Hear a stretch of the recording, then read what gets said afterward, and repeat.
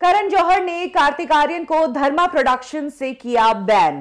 धर्मा productions Kartik Aaryan के साथ आज के बाद कभी भी काम नहीं करेगा। सिर्फ़ धर्मा ही नहीं, बल्कि धर्मा की जितनी भी फ्रेंचाइजी है, वो भी कार्तिक आर्यन के साथ काम नहीं करेंगे। करण जौहर की टीम ने ये फैसला ले लिया है। इस बारे में विस्तार से रिपोर्ट सामने आई है।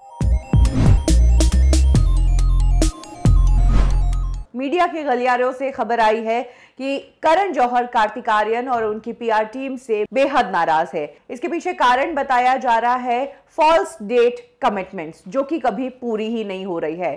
दोस्ताना टू, ये फ़िल्म कार्तिक आर्यन धर्मा प्रोडक्शंस के साथ कर रहे हैं और इस फ़िल्म की 20 दिन की शूटिंग कार्तिक आर्यन कर चुके हैं। इस फ़िल्म का सेकेंड स्केड्यूल शुरू होना था, लेकिन अभी तक हो नहीं पाया। इसके डीले का रीजन बताया जा रहा है कार्तिक आर्यन का अनप्रोफेशनल बिहेवियर कार्तिक आर्यन की टीम ने डेट्स तो दी, लेकिन उन डेट्स पर कार्तिक आर्यन कभी पहुँचे ही नहीं। इसीलिए एक अनप्रोफेशनल बिहेवियर का इल्ज़ाम कार्तिक आर्यन पर लगाया गया है। इसके साथ ही ये भी कहा जा रहा है कि कार्तिक आर्यन को स्टोरी में कुछ चेंजेस चाहिए थे। दोस्ताना टू की क्रिएटिव टीम और कार्तिक आर्यन के बीच क्रिएटिव डिफरेंसेस आ गए, जिस कारण कार्तिक की वो शर्तें और वो बातें नहीं मानी गई तो उन्होंने डेट्स देने के बावजूद अपने आप को इस प्रोजेक्ट से दूर रखा। रिपोर्ट्स तो ये भी कहती है कि दोस्ताना टू की पूरी स्टोरी जो है, करण जौहर सिर्फ़ और सिर्फ़ जानवी को फोकस में रखकर बनाना चाहते हैं। लेकिन वहीं अगर बात करें कार्तिक आर्यन की तो इस वक्त वो करियर में अच्छा कर रहे हैं। इसीलिए उन्हें भी बराबरी की फुटेज चाहिए थी। यही कारण है कि यहाँ से इन दोनों के बीच विवाद शुरू हुआ। पर हम सब जानते हैं कि करण जौहर के लिए जानवी कपूर कितनी फेवरेट है। उन्होंने अकेली जानवी कपूर को लेकर फ़िल्म गुंजन सक्सेना भी बनाई थी। और करण जौहर का स्टार किड्स की तरफ़ झुकाव तो सबने देखा ही है। कार्तिक आर्यन के इस बर्ताव को देखने के बाद उनके इस एटीट्यूड को अनप्रोफेशनल कहते हुए अब करण जौहर ने कार्तिक आर्यन को दोस्ताना टू से हटा दिया है। अक्सर ऐसा होता है कि जब फ़िल्मों की शूटिंग 20 दिन की हो जाती है तो एक्टर्स को रिप्लेस कम ही किया जाता है। और पहले के जमाने में ये बहुत होता था, लेकिन आजकल ये नहीं होता, क्योंकि एक्टर्स बहुत ज़्यादा कमिटेड है और एक डिसिप्लिन में काम करते हैं। ऐसे में फ़िल्म की 20 दिन की शूटिंग खत्म करने के बाद कार्तिक आर्यन को हटा देना, ये एक बहुत बड़ी बात है। करण जौहर की टीम अब ऐसे एक्टर को तलाश रही है, जो कार्तिक आर्यन को रिप्लेस कर सके। जहाँ एक तरफ़ इस पूरे मामले में कार्तिक आर्यन और उनकी पीआर टीम का फॉल्स कमिटमेंट बहुत बड़ा कारण बताया जा रहा है। वहीं दूसरी तरफ़ ये भी कहा जा रहा है कि कार्तिक आर्यन और जानवी कपूर के खराब रिश्तों के कारण ही ये झगड़ा हुआ है।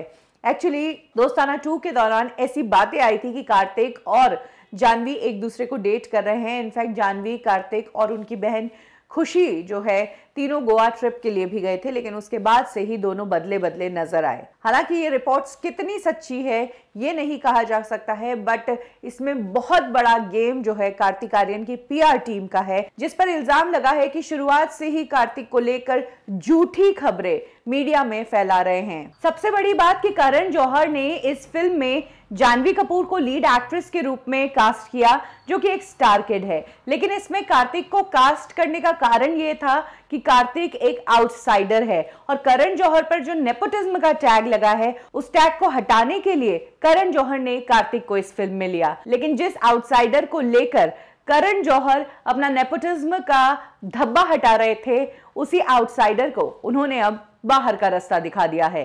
कुछ ही दिनों पहले खबर आई थी कि कार्तिक आर्यन की फ़िल्म धमाका, जो कि 30 करोड़ के बजट में बनी है, वो 130 करोड़ में ओटीटी प्लेटफॉर्म्स पर बिकी है। इस खबर के बाद जब जाँच करने की कोशिश की गई तो ये खबर पूरी तरह से झूठी निकली। सिर्फ़ और सिर्फ़ कार्तिक आर्यन को बड़ा दिखाने के लिए इस तरह की खबर उनकी पीआर टीम की तरफ़ से मीडिया में भेजी गई। इनफैक्ट सच्चाई तो ये है कि 130 करोड़ का जो आंकड़ा बताया गया है, कार्तिक आर्यन की धमाका के राइट्स उससे काफ़ी कम दामों में बिके हैं। इनफैक्ट इसके बाद एक और बार कार्तिक आर्यन की टीम ने झूठी खबर फैलाई ये कहकर कि शरद शर्मा की अपकमिंग फ़िल्म जो कि धर्मा प्रोडक्शंस के साथ है, उसमें कार्तिक आर्यन काम कर रहे हैं। ये खबर भी मीडिया में आग की तरह फैल गई।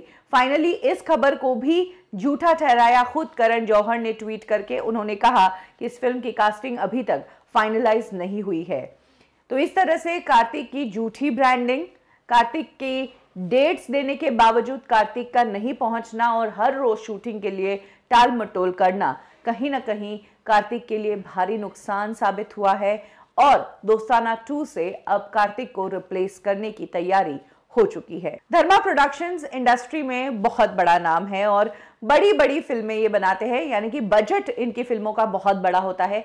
बॉक्स ऑफ़िस रिजल्ट्स की बात नहीं कर रही हूँ और इनके साथ इंडस्ट्री में काम करने के लिए एक्टर्स की लाइन लगी रहती है। ऐसे में कार्तिक आर्यन का इस बैनर के साथ काम करना वाकई में एक बहुत बड़ी उपलब्धि थी। लेकिन एक चीज़ जो समझ नहीं आती है जिस पर यकीन करना थोड़ा मुश्किल हो जाता है कि कार्तिक आर्यन को लेकर अनप्रोफेशनल बिहेवियर वाली खबर थोड़ी अजीब लगती है, क्योंकि कार्तिक आर्यन इंडस्ट्री में एक आउटसाइडर है। कार्तिक आर्यन ने प्यार का पंचनामा से शुरुआत की और उसके बाद उन्होंने अपने करियर को बहुत संभल संभल के आगे बढ़ाया है। फूक फूक कर कदम रखा है और आज वो जिस जगह पर है, बिना किसी गॉडफादर के है। तो ऐसे में अगर उनके कुछ काम आई है तो उनका टैलेंट और उनकी प्रोफेशनलिटी ही। तो अपने करियर के इस मुकाम पर, जब आगे उनके लिए इतनी बड़ी बजट की फ़िल्में बनी है, क्या वहाँ पर आकर वो अनप्रोफेशनल हो जाएँगे? जिस चीज़ ने उन्हें सबसे बड़ा बनाया, क्या उसी चीज़ में वो पीछे हट जाएँगे? ये एक बहुत बड़ा सवाल है।